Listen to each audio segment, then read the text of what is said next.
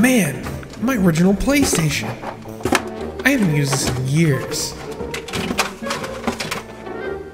And Tomb Raider. I love this game. Get out of here, Ouya. Nobody likes you. You're perfect, Nintendo. Don't ever change.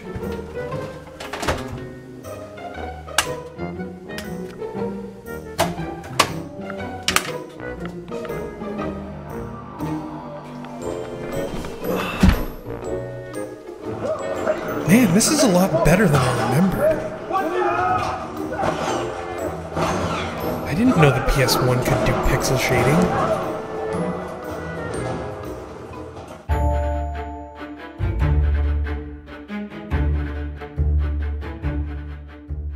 Hey everybody, I'm the Linux Gamer and I just played Tomb Raider. It's a third-person action adventure developed by Crystal Dynamics, published by Square Enix, and brought to Linux and SteamOS by Feral Interactive. Tomb Raider was released for Linux April 27, 2016. I received this game from Feral for the purpose of review. Tomb Raider is a reboot of the classic PS1 games of the same name. The game looks great, especially for being originally released in 2013. Tomb Raider controls well, especially with a Steam controller, with the default settings providing a great overall experience. The island, while it serves as a background for the game's story, feels like a habitable place, aside from the killer residents. Tomb Raider has a number of set pieces that push the game's story forward. They provide a cinematic feel that sometimes sacrifices player control for a more movie-like experience. These moments are rather frequent, asking the player for a token gesture of interaction, like a button press or a wiggle of the analog stick. At the beginning of the game, these QuickTime events are frequent, but they happen with less frequency as the game progresses. While QuickTime events can distract from the overall experience, the title's gameplay is satisfying and exhilarating. The gunplay is tremendous, some of the best third-person shooting mechanics I've played in recent memory. Littered throughout the island are crates of scrap, you can use the scrap to upgrade your weapons.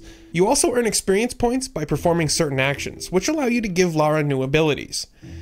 I think my favorite aspect of the game is the exploration, being able to find hidden areas, collect mysterious journals, GPS modules, or ancient relics.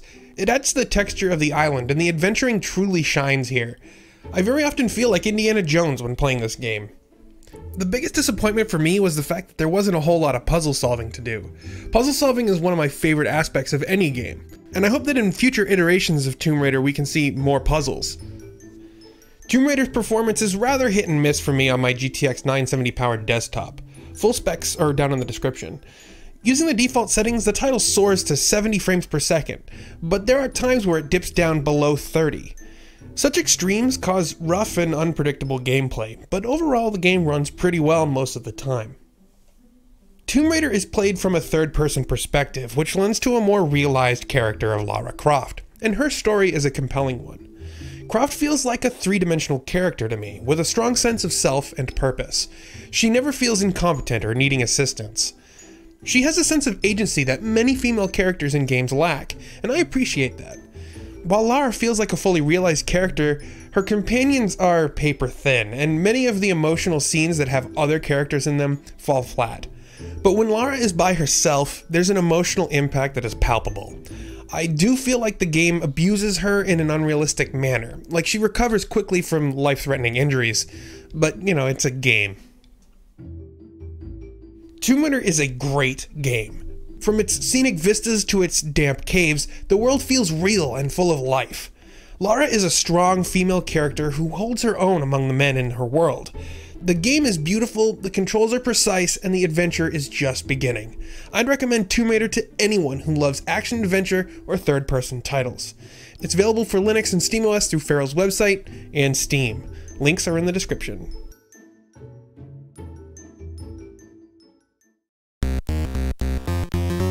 Have you played Tomb Raider? What do you think of it? Leave me a comment and let me know, or tweet at me at the Linux Gamer.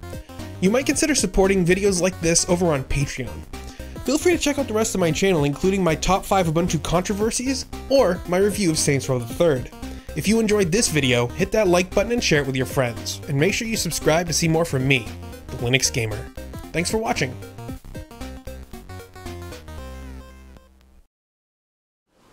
I'm sorry, Ouya.